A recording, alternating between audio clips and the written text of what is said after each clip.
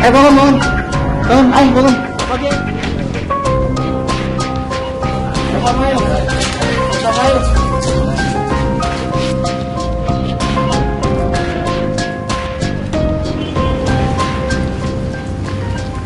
Mereka adalah para penyandang masalah kesehatan sosial.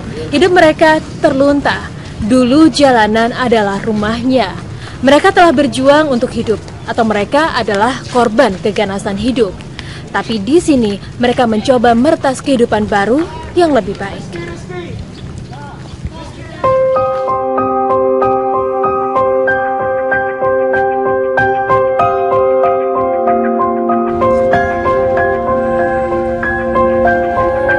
Ternyata banyak pasien yang mengalami gangguan kejiwaan di sini. Ternyata mereka bukanlah warga Surabaya, melainkan mereka datang dari beberapa wilayah besar seperti Jakarta dan juga Jawa Barat. Kita coba berbincang dengan mereka. Rizky, Rizky asalnya dari mana? dari kota Brebes Dari kota Brebes. Kok bisa ke sini? mencari bapaknya konon katanya de- jadi kuli batu Terus ditangkap sama Pak polisi asalnya dari mana? asalnya Jawa Barat Jawa Baratnya mana? Laut Jakarta Dari Jakarta. iya Abdullah ke sini naik apa? tadinya ke sininya saya berame-rame nama teman naik truk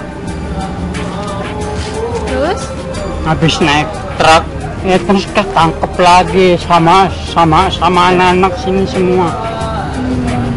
Emang ini kota apa sih? di sini kota kota spesial. Spe- kota spesial lindungilah para pahlawan Jadi kota pahlawan dong. iya Ya ya pemirsa memang mereka hingga saat ini masih dalam proses penyembuhan atas gangguan kejiwaan yang mereka eh, tengah alami saat ini. Namun mereka sekarang sudah bisa berkomunikasi. Dulunya nggak bisa ya ngobrol kayak Nggak gini ya? nggak bisa Nggak bisa.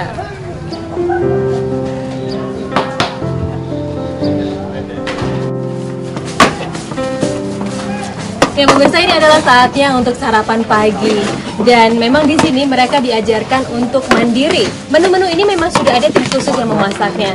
Namun mereka di sini mencoba untuk membagikan makanan-makanan ini kepada rekan-rekan yang lain sama rata.